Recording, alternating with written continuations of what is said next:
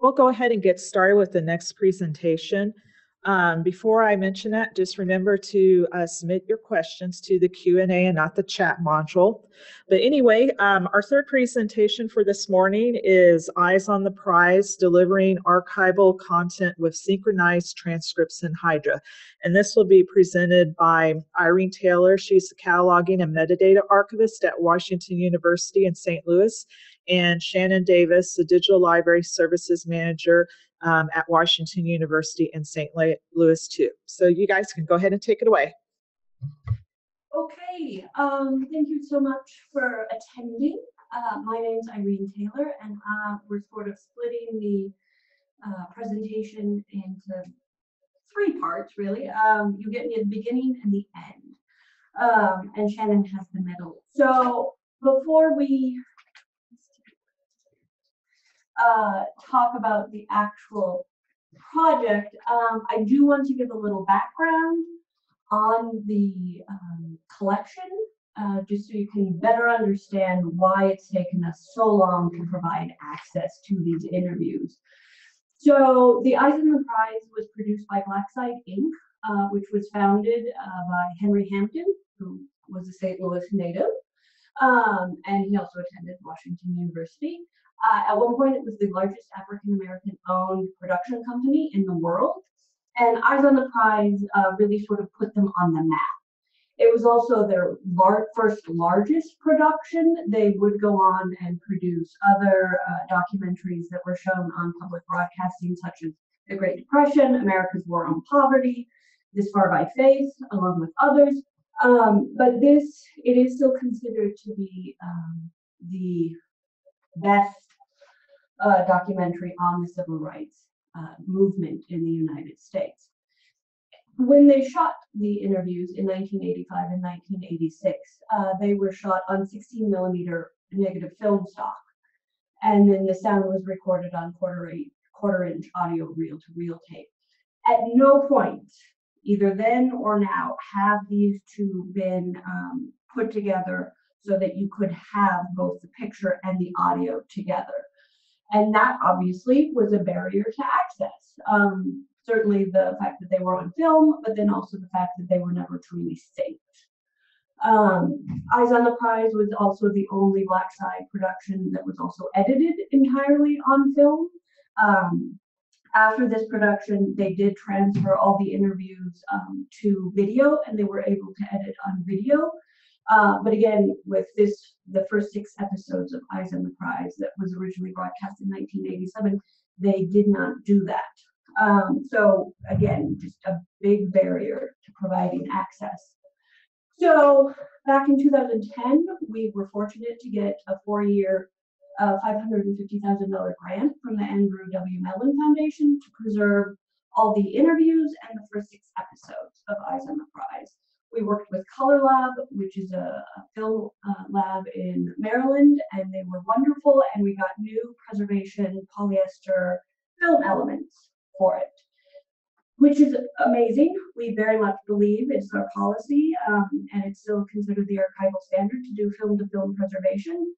But obviously, that only got us so far. Um, we also, I did want to point out that there are interviews that were included in both the Mellon grant and um, the grant that we're going to eventually start talking about um, from an earlier, never successfully completed production um, that was shot in 1979 and 1980. And yeah, um, those proved problematic in the editing process um, and in the transcription process as well. Uh, so that brings us to last year when we received a $150,000 grant from NHPRC to digitize all the interviews, including those from the earlier production, and then reassemble them. Uh, as you can see, we got 10-bit uncompressed HD digital files uh, for the picture, and then we got WAV files for the audio. And then they were digitized offsite uh, at Crawford Media Services, but then our digital archivist uh, reassembled them here in-house at the Film and Media Archive. So up until now, the only way we've been able to provide access to the interviews are through the transcripts. Um, they were encoded They were originally done um, from the audio cassettes around 2004, 2005. Um, they were then encoded in TEI XML and they were put hosted with using um, DLXS, which is out of University of Michigan and is no longer really in existence, which was also a problem.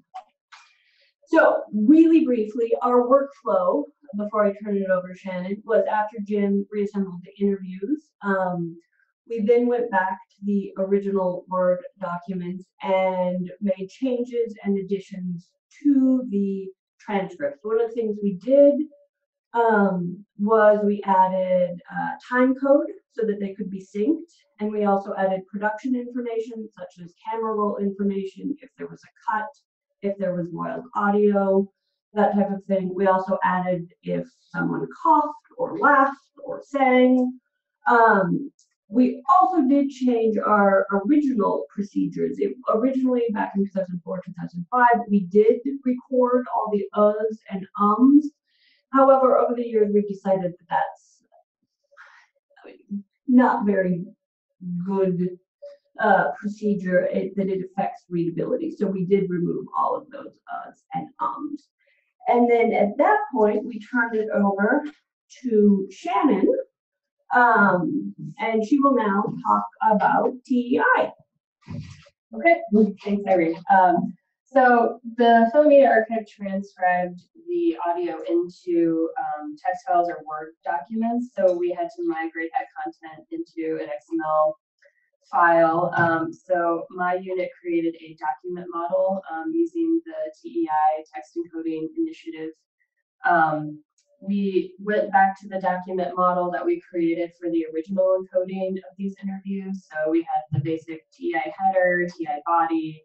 Um, we had elements and attributes to describe the recording procedures and equipment, um, and the basic um, speech elements for um, the actual interview itself.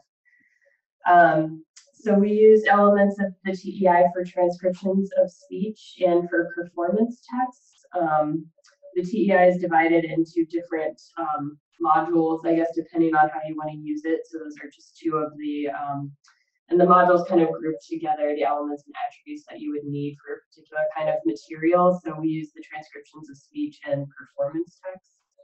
Um, so the header used elements, um, like you see here, that um, would describe the source of the transcribed speech, such as recording statement element that outlines the type of media, the duration, the equipment, um, other transcribed speech elements that we used in the actual body of the text and for the interview included the incident and description elements, which we used when an interviewer or interviewee paused or sneezed or otherwise interrupted kind of the flow of regular speech.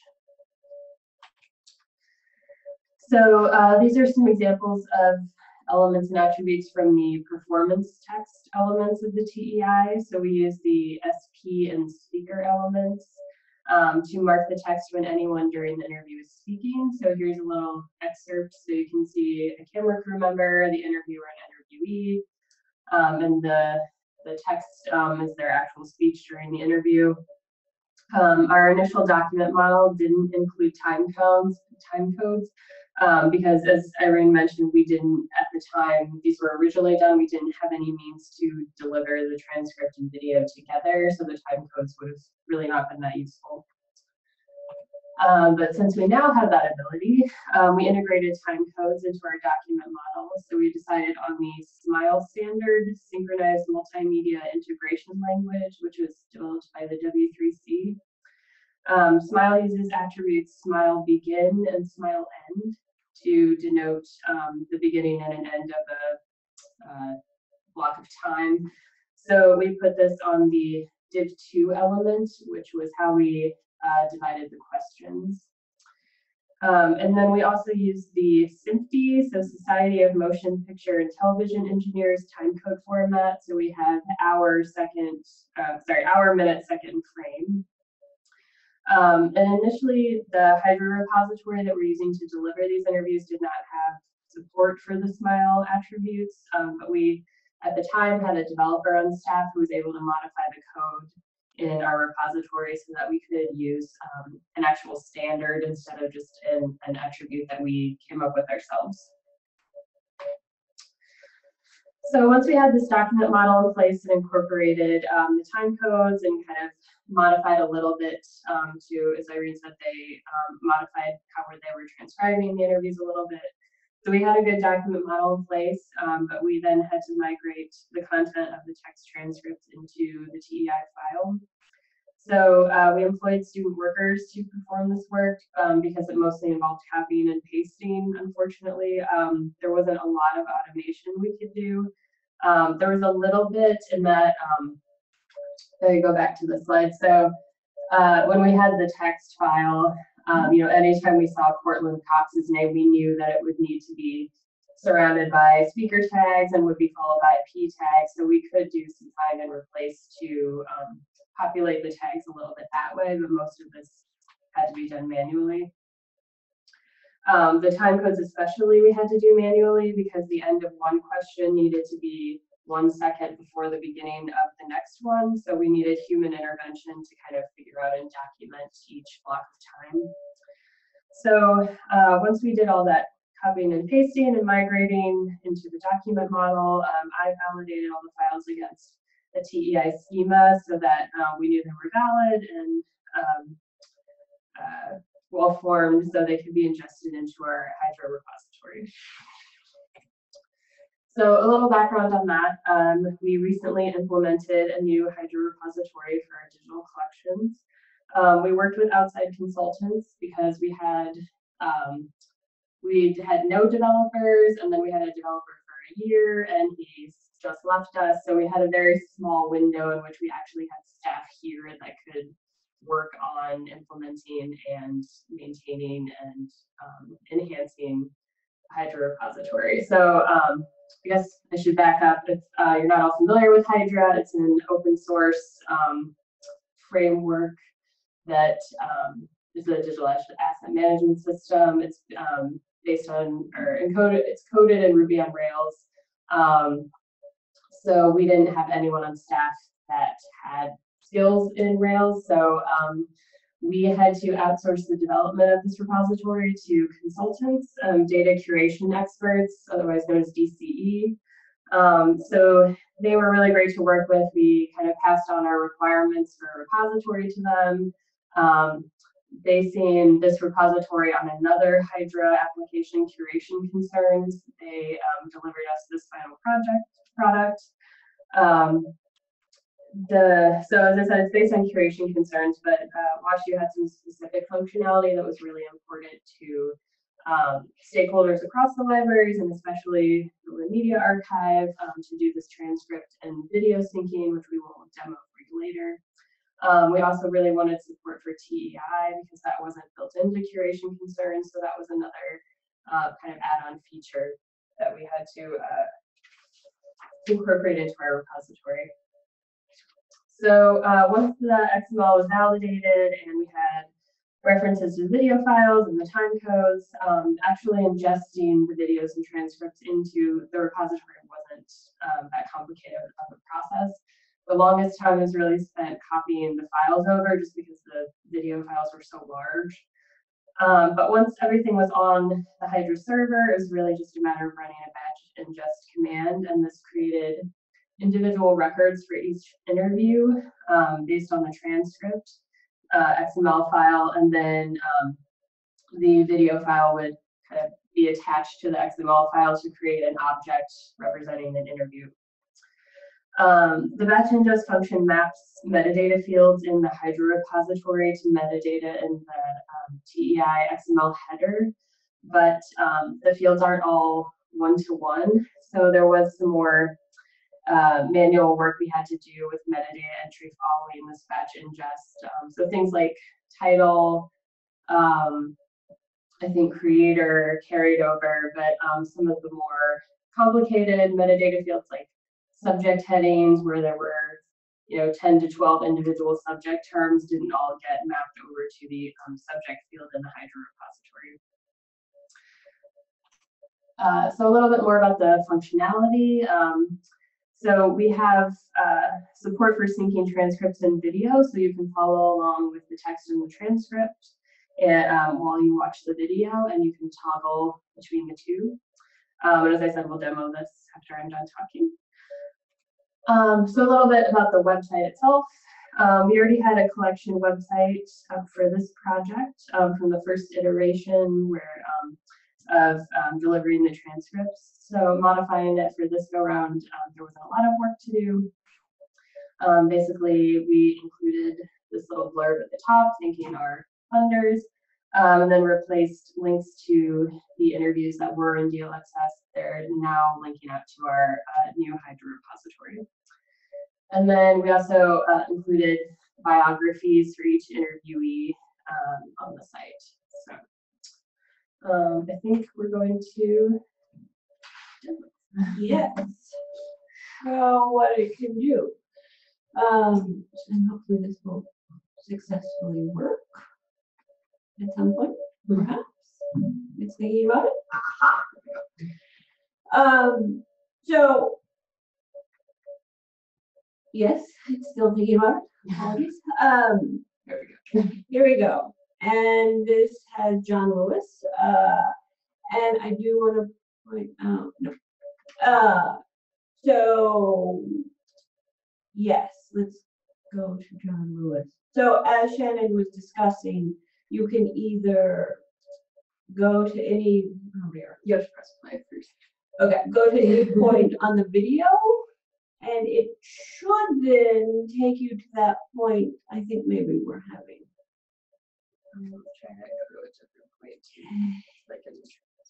What should happen is when you go to any point on the video, it goes to that corresponding part in the transcript and vice versa, but we seem to have technical difficulties. Yeah, let's go back and try a different one. I apologize. It really does work. It does. It's amazing. Uh, and, and maybe yes, if we press play and get it going, really, it does work. Um, oh dear. Uh, so sorry about this. Um, it really, it does work. It's still buffering. I think maybe the connection is just unfortunate. Um, I apologize for that. I, let's talk about other aspects of it. Um, so as Shannon mentioned, the description did come over from the TEI XML uh, document. However, um, we, one of the other deliverables for the grants um, was to improve our catalog records. And we actually have an asset management system called Mavis, which is capable of exporting uh, in XML. And before he left, I had talked about our developer about incorporating the individual title level records from um, our management from Mavis um, so that uh, we can get, so that things can be more automated because we did have to go in um, title by title and change the description so it's more descriptive of the interview itself, whereas the TEI was more uh, talking about how it how the interview fit in within the series. So that was one of the um, changes we made. We did also uh, go in and sort of tidy up the subject uh, field. We did use verified, you know, we verified that they were um, of Congress subject headings. Um, uh, for the 1985 and 1986, we knew who conducted the interviewers. Uh, so we added those information. Sadly, for the 1979, the documentation is not as great. Um, so we don't have everything. We did add the funding uh, information again under the funder uh, credit because money is important and we wouldn't have been able to do it without that. So thanks to them. Um, I did, we'll see if this works. Uh, that's a good idea. Uh, we're gonna try. Um, uh, um,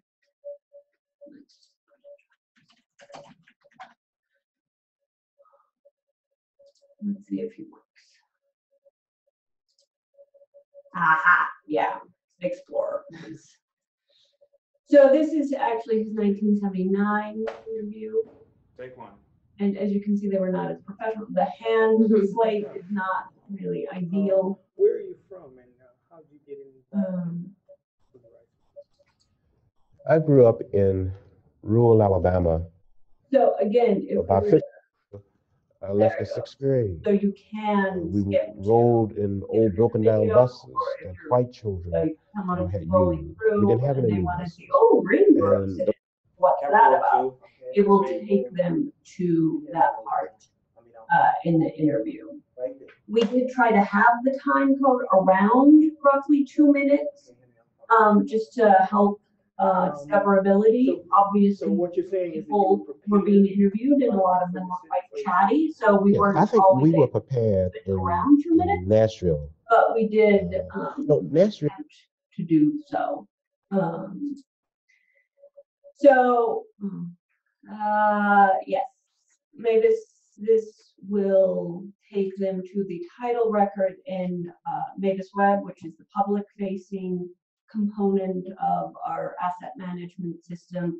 Likewise, if they stumble, if they're searching in Mavis Web and they come across this interview, there is that link that will take them back to the uh, Golden Seal, the repository record.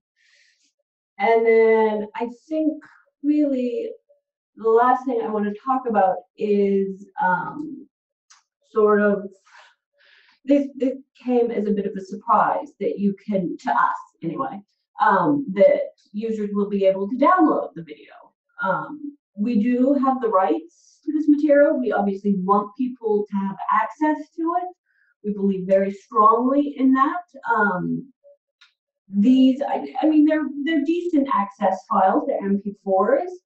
They're fairly robust access MP4 files. Um, obviously, if someone is looking to, we get a lot of uh, filmmakers who come to us running footage. Um, obviously, the the MP4 would not be adequate for their um, needs, so they would then have to come to us to license the footage and get. Uh, we have both. Uh, probably we would give them our intermediate uh, file, which is a ProRes. Uh, anyway, uh, but that is something that we will keep an eye on in terms of functionality.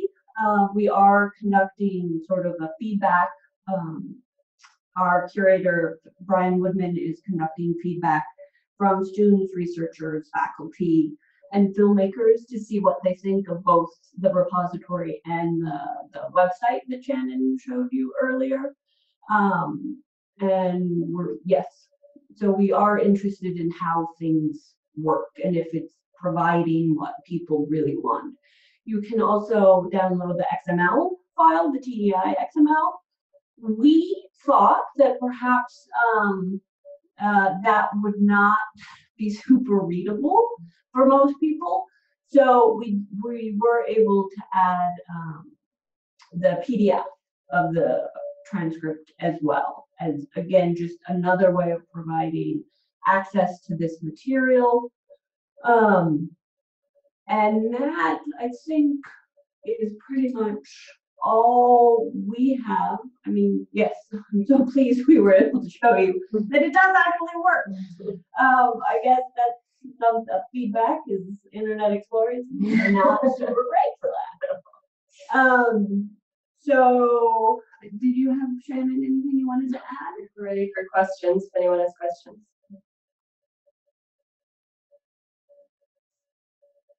Sorry, Okay. guys, it helps if the moderator unmutes. Thank you so much for your presentation, um, both Irene and Shannon. Um, we've got a couple of questions here, so I'm going to start reading them off. And please feel free, um, everyone who's attending, to um, keep questions coming. Um, so let's see. First, here we have someone who's interested in the all caps versus lowercase use in the transcripts. What was the thought behind doing that? Yes, um, that was a thought we had gone away from. Um, so we have over 400 transcripts that are in TEI. Uh, we have that. Eyes on the Prize was the first project that we transcribed, and not to deflect blame for myself, but I was not here when that decision was originally made. Uh, it was thought for readability issues that having all the production crew, the interviewer, and the camera uh, crew be in all caps versus the speaker, the interviewee in normal text would help readability. We don't really think that's the case anymore. We did discuss when this project started, uh, going back and changing that to conform to what our procedures are now. However, it was ultimately decided that as much as I personally don't really like the full all caps, that taking the time and effort to just do it in normal was not perhaps worth it, but depending, yeah, we might, we might decide it was worth it. Um, but for the time being, so that, yeah, it's, it's a little unfortunate, I think, but. All right, thank you. Um, next up, let's see. So someone found a login for repository.wustl.edu um, and wanted to verify that it was open to the community. It is, yeah. Um, the login is really at this point just for um, internal library staff here at WashU for us to add content to the repository. Um, at some point, many years from now, um, if we end up using this for our institutional repository and are encouraging self-deposit, then that login um, would be for people in the university who would want to deposit things like theses, dissertation, research. Um, but at this point, it's just for internal library staff. Um, but all of the collections we have in the repository right now are free and open to everyone. All right, excellent. Uh, let's see. Next question. Will you be creating an XSLC, bleh, XSLT script for future film transcriptions to help automate the process? Um, uh, like I mentioned, there it was really hard to automate this. Um, again, you know, not deflecting blame, but you know, there is human error involved in when you're transcribing audio. Um, so even if we did automate some of the tagging, which we, you know, we were able to a little bit, um, sometimes, you know, occasionally it would say interviewer, but occasionally it would be the name of the interviewer. So those kinds of inconsist- inconsistencies really throw off any kind of automation we might try to do. Um, we definitely try to, you know, do as much as possible um, to avoid copying and pasting. But um, yeah, these are just they're very unique materials and often not very not entirely consistent. Okay, thank you. Uh, let's see. Next up, how did you customize the display in Hydra for this collection? Um, follow up to that, could you customize collection by collection, or does display customization have to happen globally across all of Hydra? So um, yeah, when we were working with uh, DCE, the consultants who developed this repository for us, we had a big long list of um, features we really wanted, and um, theming by collection was one of them. But time and budget constraints meant we couldn't do that. So right now, everything looks the same. Um, it is not aesthetically different collection by collection. Um, we did customize an XSLT within Hydra for this display. Um, it was, so when things like, um, I don't know if I'll be able to find one here. Um, if there was like a pause, oh, there we go. Yeah, so this um, tag right here, um, the way the style sheet was originally written, it was just picking up text within a paragraph tag, but um, things like pauses, sneezes, um, we encoded with an incident element, and so it wasn't picking those up, so it would chop interviews off when the first instance of that. Um, so we did have to modify the XSLT a little bit just so that we had the full display of the transcript in there. And as you can see, it, it is still, I mean, Yeah, we really shouldn't have that gap. Yeah. Between, uh, we are still working on that. Yeah, there's still little, little quirks about it that we need to work on. Yeah. Okay. All right. Uh, let's see. Next question. Uh, was Mavis something that you already have had, or did you choose that just for this project to manage videos and transcripts? No, we've had Mavis since the early day. The archive was founded in two thousand two with the Henry Hampton collection, and I believe, again, I was not here, uh, but I believe they chose and implemented it early two thousand three, two thousand four. So it, yes, we use it a lot for audiovisual materials. Okay, Very cool. Right, and let's see. Oh, also we have a question. How are you um, preserving this uh, Eyes on the Prize collection digitally? Um, one of the things we're going, and I apologize, I meant to mention this, is uh, we will be giving the intermediate files, the ProRes intermediate files, the uh, metadata Mavis records from in XML, and the transcripts to the American Archive of Public Broadcasting. Um, I'm not sure if you probably don't know, but it was an initiative started I want to say three years ago. Um, it is now um, uh, being directed sort of by WGBH in Boston and the Library of Congress. Um, so one of the ways we're going to preserve the digital files uh, and the metadata associated with it is depositing it in their repository. Um, that is happening sort of as we speak. Um, and then we also, um, we are working on our preservation uh, repository at the moment, now that we do have Hydra. One of the things I'm excited about, uh, since we're now part of the Hydra community, is the Indiana University and the WGBH partnered project, Hydra Dam 2 is what they're calling it. I'm very intrigued and excited about um, the prospects that they are working on. I don't know if Shannon wants to add anything to that. No, we are, yeah, like Irene said, we're working on our digital preservation initiatives here. Um, I'm sure most everyone else is. Um, it's a constant struggle, so we're working on it. Very cool. Uh, let's see, we've got a couple follow-up questions there. What um, kind of digital preservation policies does the Sound Archives use? Um, so we, when we digitize something, um, we digitize at the highest preservation level depending on the format. We then make two derivatives, an intermediate file and then the access file. The preservation file, um, I mean, a lot of them are on the SAN. Um, unfortunately, a lot of them, some of them are also on hard drives.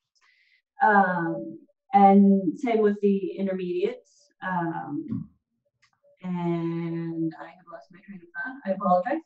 Um, yes. So lots of copies. And then we do take part, um, this is not the first time we will have deposited things at the American Archive Project. Um, we were an early, um, an eager adopter of that. So they do have everything that we had digitized that was shown, that was on public broadcasting, which is a lot of our collections, um, up to two thousand thirteen, I want to say, um, is also deposited with them. All right, excellent. Thank you so much for that additional background. Our next question uh, can you use Hydra for the preservation repository as well as the access repository? Um, it's sometimes, so the back end of Hydra is Fedora, um, which is sometimes talked about in a digital preservation context. Um, I don't really believe that it's serving that purpose here. Um, it's not really doing anything for us that um, having our files on the SAN and running fixity checks would do for us. So um, I, you know, some people talk about it in that context, but I don't think, you know, we would need something a little more robust than this application. Um, like Irene was talking about Hydra Dam. Um, some people use um, in um, in conjunction with Hydra. So I think you need um, maybe something else to go along with it to provide that preservation functionality. All right, thank you so much.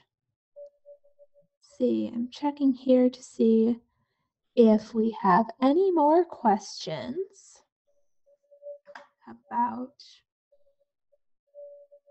10 minutes here. If anyone would like to get some more questions in, I'll give you a moment to type those in.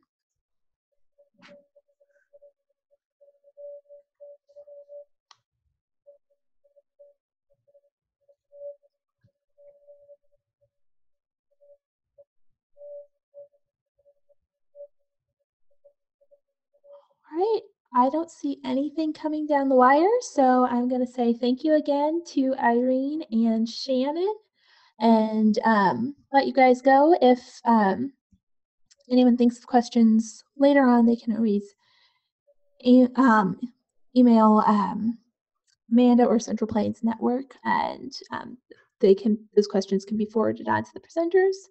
Uh, we have one more presentation before the lunch break, and a friendly reminder: if you are not speaking, please do make sure to mute your mic. We're getting a little bit of um, fuzzy background noises, um, so uh, that muting your mic will help with that. Um, so thank you again, Irene and Shannon, and we will step away to set up our next presentation. Uh, let's see, which will be Rescuing Texas History Mini Grant Program. Thank you.